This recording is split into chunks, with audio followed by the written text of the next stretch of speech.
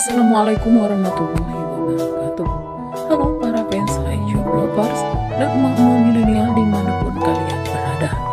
Berjumpa kembali bersama Mimin di sini di channel Bucin Yang akan selalu memberikan informasi terbaru dan terupdate Seputar si babang tampan Rangga Ajo Dan si cantik Heiko van der Vegan setiap harinya di channel ini.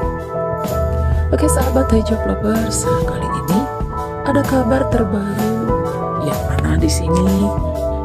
Ahli tarot Sekar Ayunda angkat bicara soal hubungan Azok dan Haiko van der Vegan selama ini.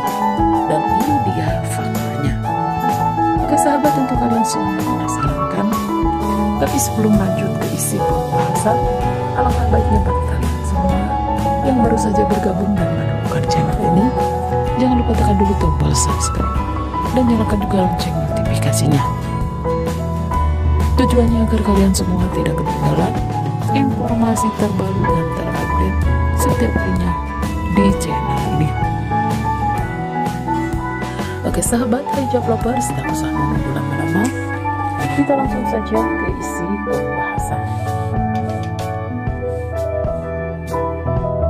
Sahabat hijab lovers, kali ini ada ahli tarot ya sang peramal Sekar Ayunda sini.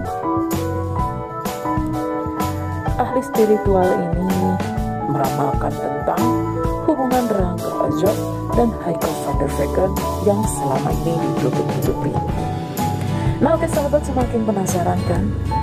Makanya tonton sampai habis video ini agar tidak terjadi kesalahpahaman di antara kita.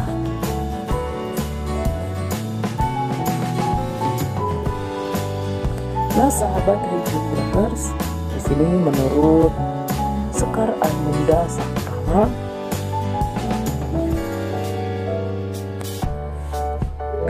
memang seorang artis ini banyak sekali ya yang dikatakan Sekar Ayunda cinlok atau cinta lokasi.